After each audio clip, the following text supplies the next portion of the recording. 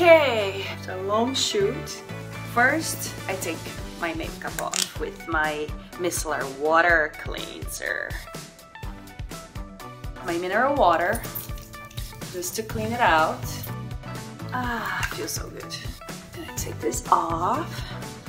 So I do my double cleansing to make sure everything is off. Mineral water.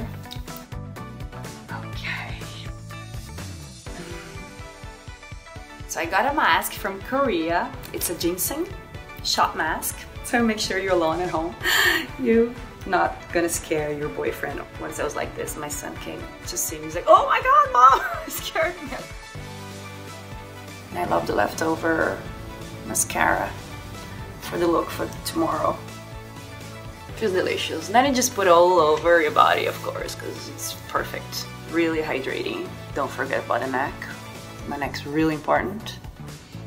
So you don't have like wrinkles in your neck. I love myself and I look weird.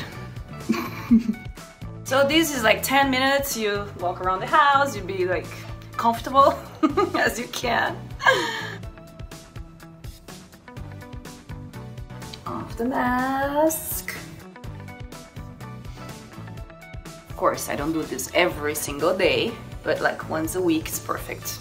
Whenever I feel very dry for all these crazy makeups, you know, that I wear like on and off, on and off, and my eye gets so dry around here. So it's a Cicalfate from Avène. I always feel like dry here. I feel dry here, over my eye. Hydra Genius. It's for extra dry skin. Perfect. I'm ready to sleep.